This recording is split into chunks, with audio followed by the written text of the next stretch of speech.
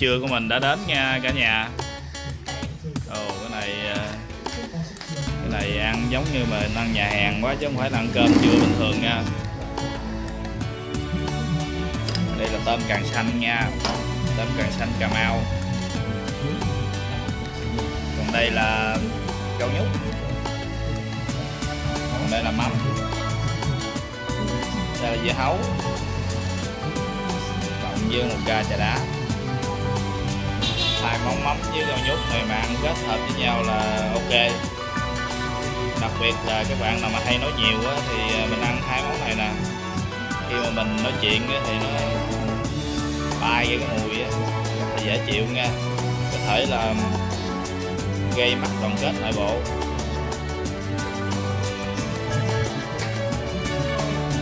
Món tôm này mình ăn vô là không có phụ dễ bị đau bụng nữa nha. Tôm nữa nha. Tôm sông mới được nha. Hồi đó giờ mình chưa thấy con tôm nào mà nuôi trên bờ chứ nha. Cứ mỗi lần ăn là nói tôm sông không à. Món mắm này mà mấy bạn mà à, mấy bạn mà mới quen nhau đó ăn xong rồi à, cắn nhau là cảm giác rất là phê nha gán ăn cho no đặng bắt đầu ờ, chiều nay biết sao. Chiều nay bắt đầu mình coi Việt Nam đá banh nè. Việt Nam với Brunei 8 giờ nha. Mình ờ, là rất thích coi đá banh. Mỗi lần mà tới đá banh là bỏ làm luôn. Bởi vì ờ, hai chồng mình lộn vậy cho dù đá banh nè. Đây là chỗ làm việc mình nè.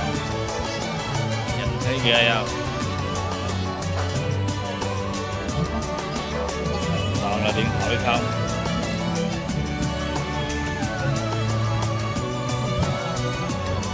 Đây là cái góc làm việc của mình nha các bạn. Hai chiếc xe tập thể dục buổi sáng. Bạn nhìn thấy ghê không? Đồ dữ lắm. Đồ hư không à